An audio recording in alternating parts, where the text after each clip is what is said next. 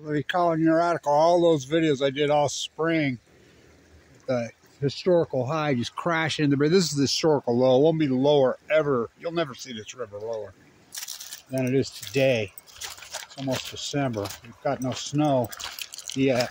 It's cold. But I think, well, I want to, I was just down here killing some time going to my grandson's soccer game. And I think it's such an incredible credit to these WPA rock masons. That's who trained me. I mean, talk about a lost art. Kevin Blanch last of the Mohicans. You know what kind of pressure was on these walls this year? It was intense. It was radical as hell. Flawless. Flawless. I what little bit of restoration are on the up and down these walls here along the river, that's my work. You know. See we got a new mayor.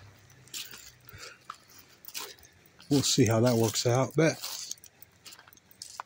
it's incredible.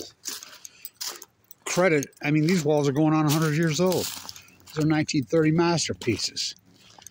And uh, at least Cole Eisenhower's dad come up to me and he says, I got to tell you, Kevin, thank you the other day for sticking up for Cole, local artists. Yeah. They spit at me. I just don't want them to spit in his face like they did my face. The whole Blanch Plastering crew's all dead now. Kevin Blanch, the last one. They've all died. Just in the last year or two. All the work I've done in this city, including the Masonic Temple, including the tree in the Children's Museum, I built that out of laughing plaster. You know, the thousands and thousands of restoration projects. I still want to restore the old Farr Pool back to originality. I mean, it should be on the National Historic List just because of the movie, 1938. Right there after the movie, they put that fake shit over it. You know, I've been wanting to restore it back. You know, I've got a pacemaker now, but I'm strong enough. Getting there. But, you know, he's the local muralist who's, he's the you know, he's native Ogden, multi-generation Ogden. Like I just like I told his dad, well, I didn't, I don't want to happen to him what happened to me. You know, all that historical work I did in this town, and they just spit at me, treat me like dog shit. You know, just the 1905 Masonic Temple alone. I mean, that Masonic symbol, I hand carved that. I hand chiseled that back to its splendor. Not a crew, me, we, Kevin D. Hand chisel seven days a week, 12 hours a day. I couldn't sleep at night. My arms ached so hard for months. I will put a plaque up. Now, Bernie and Randy just sold it and made fucking a big chunk of money. Yeah. Just like the tree museum, when I did the tree. Inside that tree, that's laughing plaster. I did that in the children's museum. Oh yeah, we'll put a plaque up for you, Blanch. You walk up that, that handprint, that's my hand. You know, I have thousands of them. I restored so up and down 25th Street. I was just thinking about the. Now we got a new mayor. I'm going to change it from the Caldwell Monument, that big, ugly, grotesque monstrosity, to the Caldwell Cathedral. You know, what a thumbprint on his tenure. All he did the entire time. All he did the entire time was gut Ogden. You know, the, what they've done to the artisan in this town, this is the great artisan city. The great artisan city. I remember being in Europe, walking every day, and watching these plasters. Me telling them every morning. I was in Europe for months and months. And Oh, I can plaster. Nobody from America can plaster. And I says, Oh, I can. Finally got tired of hearing it from me. He says, Get up here. You know, he had a big old blade about that big for me, trying to buffalo me. Finger buffalo me. I got up on there with them mud boards, started going across that wall. He's like, Holy shit. Oh, I never seen anything like that. Yeah. I thought none of us could plaster. try me. He says, want a job? Says, who do you think taught us here? What do you think Ogden is? Was. Ogden was first, second, third generation.